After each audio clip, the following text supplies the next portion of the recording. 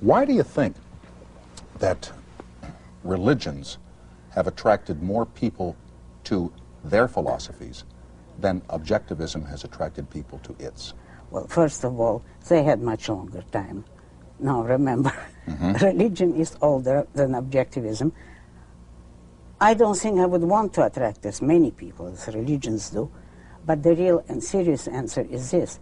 Religion is a primitive form of philosophy. Because what religion and philosophy have in common is that it's a system of background premises. Uh, it gives you a frame of reference, a context, in fundamental terms, and then you live the concretes of your life accordingly. So religion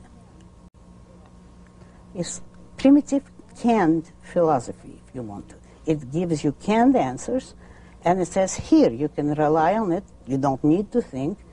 It will tell you what to do in practically every situation, just obey us, take us on faith.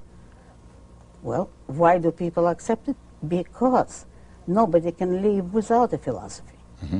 Even the most primitive, unthinking Yeah. man needs something to tie all of his actions, ideas, and his life together. He needs integration. Religion provides it to him ready made.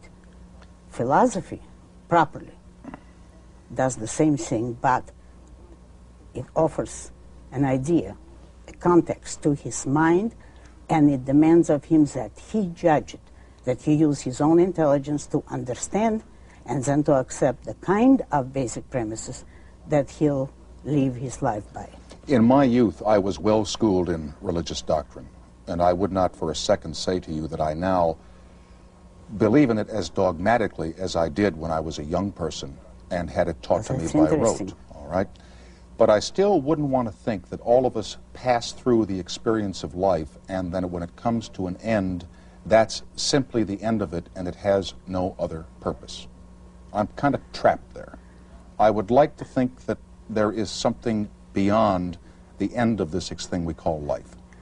But tell me, supposing you were convinced that there isn't, what difference would it make to you now?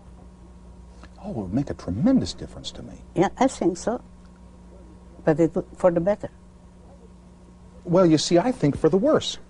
I wouldn't. I, I wouldn't like to believe that uh, when this body dies, that this spirit is all, is now gone. That it's it's uh, it's uh, it's defeated. It's not, not defeat. Uh, think of it the other way. If you know that this life is all that you have, wouldn't you make the most of it? Well, I- than think, well, well, if, I- if I don't enjoy this life, I'll have limitless number of lives coming yet. I can be wasteful of my own life. No, I don't think that. I don't think that I would want to waste a second of this. I do waste some seconds, and I'll bet Ayn Rand wastes some Oh, a lot. some seconds Or also. they're not wasted. Yes, you mean of doing nothing whatever. Mm-hmm. Just drifting.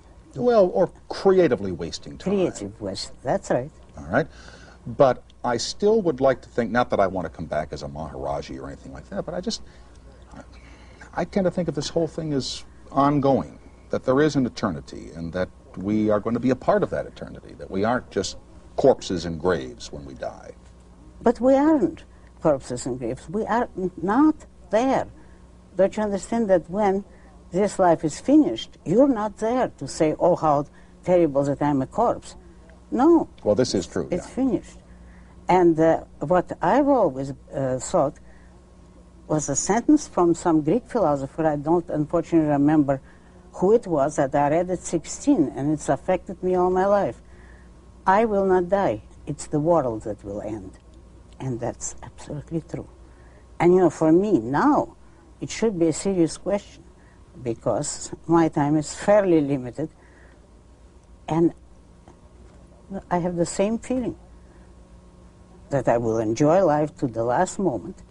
And when it's the end, I don't have to worry about it. I'm not there. It's too bad that the world will end, and I think a very wonderful world will end with me. But I've had my time. I can't complain. Ayn Rand does not fear death, does she? No. Only the death of someone I love, but not my own.